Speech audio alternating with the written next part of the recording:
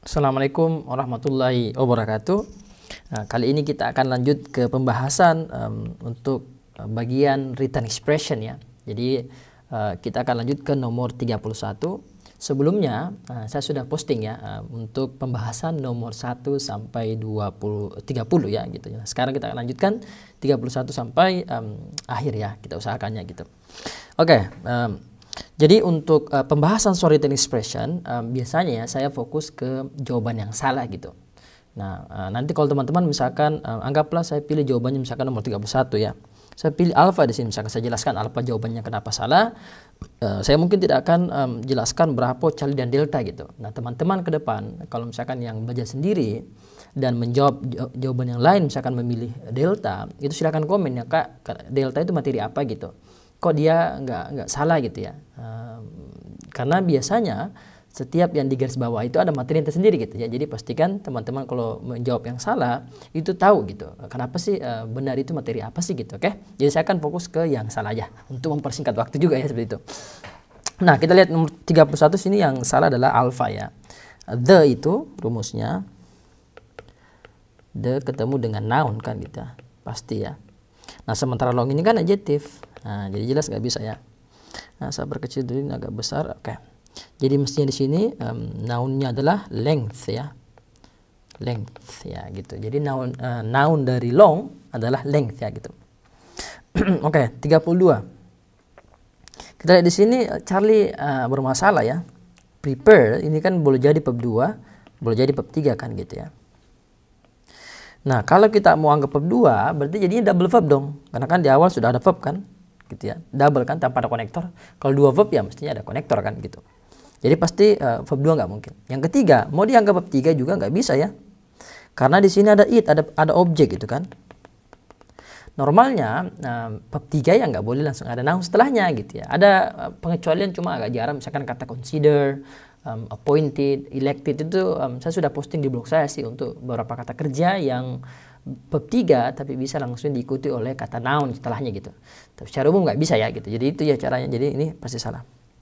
Di sini mestinya um, preparing ya. Preparing gitu. Jadi um, jadi leather ini dikeringkan di kondisi yang humidity ya, yang dikontrol dan natural gitu. Yang nah ini menjelaskan sini condition ini materinya reduce adjective clause. Oke nanti mungkin saya pasang di um, di deskripsi ya link untuk materi registrative clause. Kalaupun teman-teman ada yang bingung nanti chat aja ya di kolom gitu tanyakan materinya apa gitu saya kirimkan linknya. Jadi ini uh, menjelaskan sebelumnya ini adjective clause, uh, reduce adjective clause kalau lengkapnya um, which prepares ya, which prepares itu lengkapnya itu adjective clause-nya. Jadi yang persiapkannya maksudnya kembali ke leather um, untuk um, operasi penyelesaian dan softening ke depannya gitu maksudnya. Subsequent dan seterusnya gitu maksudnya selanjutnya ya gitu. Oke lanjut 33. Di sini sitis mestinya sitis ya jamak. Karena kan dia bilang of all dari semua ya. Kemudian dibandingkan bahwa ini yang paling tua gitu dari semua uh, kota uh, independen dan uh, organized gitu ya yang diatur gitu di Texas Laredo ini yang di, um, dibangun tahun 55 gitu ya, dibuat tahun 55 itu yang paling tua, itu maksudnya. Kayak jadi dari semua kota, mestinya jamak ya gitu. Sama kalau misalnya kita bilang dari semua siswa uh, kelas 2 si Budi yang paling cerdas misalkan. So of all students harus jamak. Ingat all itu sebenarnya bisa uh, bisa tunggal juga ya. Kita bisa mengatakan all information. Ya kan gitu. Ini kan tunggal kan karena dia countable ya. Jadi all itu bisa tunggal bisa jamak. Cuma dalam konteks ini dia wajib jamak karena tadi ada perbandingan gitu. Jadi semua siswa kelas 2 of all students ya of um, kelas 2 misalkan ya or second class second grade misalkan Budi is the smartest ya contohnya gitu. Oke. Okay? Lanjut. Ah, 34 di sini there ini mestinya it ya. Ini it gitu. It was. Ini mungkin agak agak unik, agak berbeda dengan bahasa kita Indonesia ya. Nah, saya kasih contoh mungkin agak um, mudah kita pahami dulu. Ya baru saya jelaskan ke situ mungkin. Misalnya kita bilang begini uh, it was in um, um, it was on ya. Saya ikut aja di sini on August um, um, 17 Agustus ya. 17 Agustus tahun 1945 ya. That baru that sini Indonesia gitu. Indonesia um, proclaim ya. Maksudnya menyatakan uh, kemerdekaannya kan gitu. Nah kalau kita lihat di sini, jadi uh, dead ya gitu. Jadi um, bentar, dead ya. Jadi it was on ya. Jadi tahun uh, 17 Agustus itu Indonesia me, uh, me, menyatakan ya proklaim ya gitu ya menyatakan uh, ininya ke, kemerdekaannya gitu proclaim its Independence Day ya gitu. Jadi uh, mungkin ada yang bertanya kenapa nggak pakai UN kak di sini gitu dong? Karena kan kita kan membahas waktu. Nah, memang begitu. Ya. Makanya saya katakan tadi agak unik memang. Umumnya um, kalau kita bilang WN orang paham kok. Secara grammar itu nggak salah juga ya kalau kita menggunakan WN tapi memang secara umum di TOEFL saya dapatkan di sini untuk konteks uh, it kemudian tahun di tengahnya kemudian kita akan menggunakan kata that gitu. Nah kapan kamu ketemu um, si Budi? It was yesterday that I met him. Ya it was yesterday that I met him gitu ya. bisa juga sebenarnya kita mengatakan kan when I met him gitu saya pribadi belum pernah juga ya um, uh, mendapatkan buku khusus ya gitu kayak ada grammar khusus yang membahas um, perbedaan antara when dengan that dalam konteks ini ya. Saya pribadi nggak dapat. Tapi memang ini uh, hal yang kayak pola umum memang dalam bahasa Inggris gitu ya. Kita menggunakan it uh, dengan that gitu. Sebenarnya ada cara lain ya kalau kita mau um, mengetahui bahwa there sini salah. Cara lainnya adalah ingat ya kalau kata there di sini maka subjeknya pasti sebelah kanan. Maka there itu uh, kemudian di tengahnya ada be ya ya there is there are there were gitu ya. Kemudian di sini pasti noun. Oke? Okay? ini subjeknya kan di situ.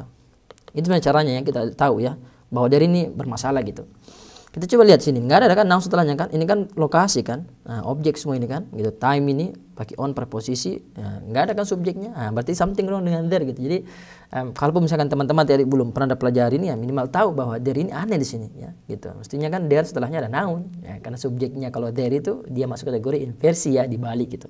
Sebelah kanan dia. Oke lanjut. 35 despite ini mestinya uh, although ya although walaupun gitu. Atau even though ya terserah. Teman-teman mau mengatakan although pakai even though sama aja. Uh, though yang kurang formal ya. Jadi although atau even though. Nah um, ini conjunction. Kok bisa gitu ya? Nah jelaskan despite ini preposisi gitu. Preposition ya. Nah uh, kalau preposisi ketemu dengan noun kan? Conjunction ketemunya dengan subjek verb. Nah, di sini kita kita lihat ada subjek verb. Nah, jadi di situ yang dibutuhkan adalah um, uh, conjunction, uh, subjek conjunction ya karena subjek verb setelahnya. Nah, ini ada materi khususnya juga dan uh, kalau teman-teman biasa mengikuti kelas saya, itu biasanya kita akan bahas di uh, kelas advance memang.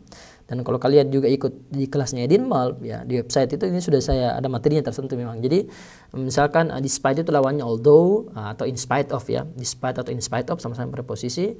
Kemudian because itu konektor lawannya because of, um, kemudian during itu preposisi lawannya while ya gitu. Itu ada materi sendiri. Nanti mungkin saya bisa uh, kasihkan link ya, kalaupun saya lupa ingatkan aja ya. Seperti biasa. Oke, lanjut.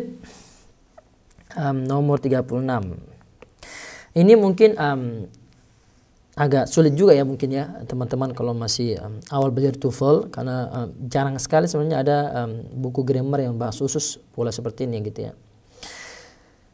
Nah, um, saya um, sebelum saya jelaskan materinya, ini sudah sebut materi sebenarnya di video di playlist saya di grammar itu. Um, sebelum saya masuk ke situ, waktu saya belajar TOEFL itu saya punya kayak buat catatan sendiri gitu. Jadi uh, rumus saya waktu itu adalah the noun of noun gitu. Di sini the noun of noun ya. Di sini pasti noun ya sebenarnya ini kalau yang sebelah kanan pasti noun ya karena kan preposisi of kan gitu. Adapun di sini sebenarnya dia secara umum gitu. Karena kan kadang juga ada sebenarnya adjective yang bisa um, ketemu sebelum of tapi umumnya noun. Nah, ini yang um, umum pakai the juga gitu. Dia kan sebenarnya uh, menyatakan hal yang spesifik gitu. Nah, kok di sini pakai the umumnya ya enggak enggak 100% ya, umumnya gitu. Umumnya harus pakai the memang karena noun ini kan miliknya ini kan gitu. Misalnya kita bilang the study of biology. Study apa yang kau maksud? Ya studi biologi. Ya gitu kan. Makanya spesifik pakai dia gitu ya. Itu satu cara ya waktu saya uh, latihan belajar TOEFL gitu ya. Jadi mestinya pakai the ya. Itu satu. Nah cara kedua yang lain yang mungkin cukup menantang tapi ini yang uh, materi grammar sebenarnya yang um, pemba pembahasannya gitu ya nah uh, di video saya itu sudah sudah uh, kalau kalian pernah uh, uh, simak semua video saya itu saya membahas tentang ada namanya noun menjomblo gitu Noun menjomblo maksudnya itu semua countable noun ya countable noun ya yang bisa dihitung itu pastikan ada artikelnya kah atau dijamakkan. Misalnya kita bilang uh, ini um, saya jelaskan mungkin di sini ya. Saya bilang I like apple. Ini salah kan gitu. Salah karena Apple ini countable noun. Dia jomblo di sini supaya tidak jomblo tambahkan pakai en kah ya. Karena kan dia huruf vowel ya jadi saya pakai en. Kalau book ya kita pakai e ya gitu, a book. Atau mungkin dijamakan aja boleh juga apples atau ditambahkan um, the juga boleh ya.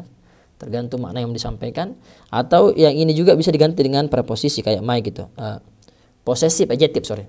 Ya my, your, his gitu oke. Okay? Jadi uh, tambahkan en di depannya pakai the kah atau my gitu. Nah ini atau dijamakan aja. Nah, kalau dijamakan boleh pakai the boleh tidak ya, nggak ada masalah. Kalau the itu ya boleh jamak boleh tidak. Itu ya. Jadi intinya kalau kalian dapat keadaan noun yang countable berdiri sendiri itu uh, wajib menggunakan an, the, my atau dijamakan ya itu. Jadi sama mekanisme. Mekanisme ini kalau cek, kalian cek di kamus itu dia uh, countable itu. Cek aja di kamus Cambridge ya seperti itu. Dia countable itu pasti. Nah, sekarang 37. Di sini mestinya necessarily ya gitu ya necessarily gitu. Kita butuh adverbnya. Nah, ini ada materi sendiri juga. Jadi itu perlu kawan-kawan, um, mereka selalu mengujikan antara penggunaan adjektif dengan adverb. Jadi kalau kalian misalkan lihat, oh ini adjektif di garis bawahi. Oh ini adjektif. Benar nggak di situ posisi adjektif? Siapa tahu di situ adverb ya gitu. Oh, oh kita sudah pelajari bahwa adjektif itu memang ketemu dengan noun. Oh berarti aman ya kan. Uh, ini um, kok ada adjektif kemudian verb sebelah kanan gitu. Kan verb itu uh, ketemu um, yang menjelaskan adalah adverb bukan adjective ah makanya salah ya gitu. Sama saya kita bilang um, saya kasih contoh lagi ya yang gampang. He quick atau quickly um, atau saya tambahkan he can ya gitu ya. He can quick atau quickly run run ya gitu ya. Nah tentunya karena ini adverb maka kita menggunakan quickly adverb kan kita butuhkan ya. Kan ini verb maka kita membutuhkan adverb bukan adjective ya. Ini adjective ya yang quick gitu. Oke? Okay? seperti itu Oke lanjut. 38 um, ini ini menantang ya seriously menantang ini. Um, kalau ini aman ya alfa ya. Ini um, saya tidak bilang misalkan Indonesian Presiden Jokowi Widodo gitu ya sama dengan ini ya. Ya sebutkan dulu siapa itu um, kemudian sebutkan namanya. Indonesian Presiden misalkan ya gitu. Nah ini um, di sini mestinya off ya. Agak susah memang mungkin. Um, dia lebih ke makna sih sebenarnya? Jadi uh, hak ya hak um, hak uh, merata gitu artinya hak merata bagi gitu ya of atau dari gitu ya miliknya African American itu maksudnya. Jadi bukan equal rights to ya gitu bukan um, hak merata ke tapi lebih ke miliknya gitu ya. Um, ini um, kalian bisa um, ini kayak ini sebenarnya sebenarnya kayak depend on deal with ya consist of itu memang sudah um, uh, sudah aturannya seperti itu. Ini harus dicek di kamus memang. Jadi kalau kalian cek di kamus misalkan di pen itu nanti di blok hitam on misalkan. Kemudian deal akan ada blok hitamnya with misalkan. Pasangannya memang uh, sama dengan rights. Rights itu mestinya off ya. Tapi rights ini um, kalian tidak bisa dapatkan di Cambridge Dictionary. Kalian harus menggunakan collocation dictionary gitu, oke? Okay? Um, kalau kalian butuh kak yang mana collocation dictionary komen aja saya kirimkan gitu. Karena 39 nah ini mestinya uh, persen ya. Persen gitu ya. Jadi misalnya kita bilang satu persen ya one persen ya gitu. Kalau angka ya kita menggunakan persen. Kalau nggak ada uh, kalau persentage uh, percentage ya persentase kan gitu tanpa angka di depannya kan gitu. One persen two persen tapi nggak pakai s ya. Nggak ya. One persen two persen three persen ini kan one half berarti seperdua kan. Um, um, less than one half Ya, jadi dua persen persen ya angka kan gitu ya. Jadi harus menggunakan persen ya persen off gitu, bukan percentage ya. Kalau percentage tanpa angka. Oke, yang terakhir. nah ini kan uh, noun gitu ya. Ini kan noun noun ya istilah gitu ya. Noun ketemu noun ya eh, satu bagian dianggap noun kan gitu ya. Noun frasa gitu ya. Noun kan sebelumnya ya ketemu dengan adjective kan. Nah itu rumusnya kan. Um, kalau kalian apa pun nanti yang um, sebut ada yang bukan dari um, tidak pernah ikut kelas saya misalkan ya. Teman-teman belajar saya sebutkan rumus kayak gini ini kak materi di mana? Gitu. Itu saya sudah ada videonya semua kok lengkap ya. Jadi kalian tinggal komen aja nanti saya kirimkan. Nah, kalaupun saya lupa gitu ya. Nah di sini kan adverb ya.